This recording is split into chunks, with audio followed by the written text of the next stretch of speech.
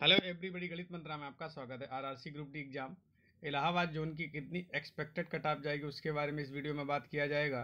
तो इस वीडियो को अंत तक देखें। वीडियो आपके लिए हेल्पफुल होगा। तो सबसे पहले बात कर लेते हैं कुल कितनी वैकेंसी थी। तो इलाहाबाद जोन से टोटल चार हज़ार सात सौ तीस वैकेंसी थी। और आपको पता है कि इस बार का प्रोसेस क्या है कि वैकेंसी का थ्री टाइम मतलब तीन गुना कैंडिडेट फ़िज़िकल के लिए कॉल किए जाएँगे। मतलब कि यदि यहाँ पर चार हज़ार सात सौ तीन वैकेंसी हैं सॉरी सात सौ तीस तो टोटल चौदह हज़ार एक सौ नब्बे जो कैंडिडेट हैं, वो यहाँ से क्वालिफाई किए जाएँगे फ़िज़िकल के लिए। इसके बाद फ़िज़िकल जो पास होंगे, उसका वन बाई वन यानी कि जितनी वैकेंसी उतनों का ही डीवी और मेडिकल होगा। और आपको पता है कि इस बार का जो पेपर का लेवल था, वो आप मॉडरेट के रेंज में रह सकते हैं। ईजी बिल्कुल नहीं था। क्यों? क्योंकि किसी टॉपिक में मतलब किसी शिफ्ट में पेपर में मैथ सरल आ गई तो साइंस बहुत अच्छी आई थी। साइंस सरल आ गई तो मैथ बहुत अच्छी अच्छी आई। कहीं कहीं क्या नाम रीजनिंग का लेवल भी किसी शिफ्ट में बहुत अच्छा रहा। तो ओवरऑल मैक्सिमम जितने भी सेट पेपर हुए हैं या सेट हुए हैं, उनमें एक लेवल आया, ऐसा नहीं कि बहुत ज़्यादा वेरिएशंस आए हैं। और बहुत सारे कैंडिडेट ऐसे हैं जिन्होंने बहुत ज़्यादा कर किया है क्वेश्चन मतलब सौ में सौ कर आए तो हालाँकि उन्होंने तुक्का बहुत मारा तो उनकी गलतियाँ बहुत ज़्यादा हुई होंगी। तो आपने भी यदि पेपर दिया तो आपको एक आइडिया होगा कि लगभग कितने नंबर आपके आ रहे हैं, क्योंकि आपने किसी न किसी से देख करके चेक कर लिया होगा, उन्होंने बताया होगा ये ये क्वेश्चन आए थे, उससे चेक कर लिया होगा।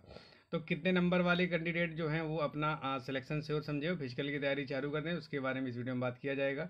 और आपको ये पता है कि इस बार नॉर्मलाइजेशन का प्रोसेस थोड़ा सा अलग है, जो परसेंटाइल बेस्ड नॉर्मलाइजेशन है। पिछली बार क्या था? एवरेज बेस्ड नॉर्मलाइजेशन था। मतलब पूरी शिफ्ट का एवरेज निकालते थे, फिर एवब एवरेज हो तो आपको नंबर मिलते थे ज़्यादा बिलो एवरेज हो तो कम, किसी किसी के घट भी जाते थे। तो इस बार जो नॉर्मलाइजेशन में मार्क्स मिलेंगे, वो मैक्सिमम आपको दस मिल सकते हैं, इससे ज़्यादा नहीं मिलेंगे। तो इसका इफ़ेक्ट आपको फाइनल में ज़रूर दिखाई देगा। जो पिछली बार आप देख रहे थे कोई कोई कैंडिडेट ऐसे भी थे जिनको तीस तीस नंबर तक नॉर्मलाइजेशन में मिले थे। तो अपने आप कटाप हाई चली जाएगी। इस बार नॉर्मलाइजेशन कम है, यानी कि कटाप अपने आप डिक्रीज होगी। तो देख लेते हैं कितनी कटाप जाएगी। इस बीच में यदि आप लाई करते हैं तो ये मान के चलिए आप बिल्कुल सिलेक्टेड होंगे, ठीक है? तो भैया, यदि आप यू आर कैंडिडेट हैं और आपके नंबर 65 टू 67 के रेंज में आ रहे हैं तो आप अपने आप को सिलेक्ट माने और फ़िज़िकल की तैयारी में लग जाएँ। ऐसे आप ओबीसी कैंडिडेट हैं और आपके नंबर चौंसठ से छाछठ के रेंज में आ रहे हैं तो भी आपका सिलेक्शन हो जाएगा।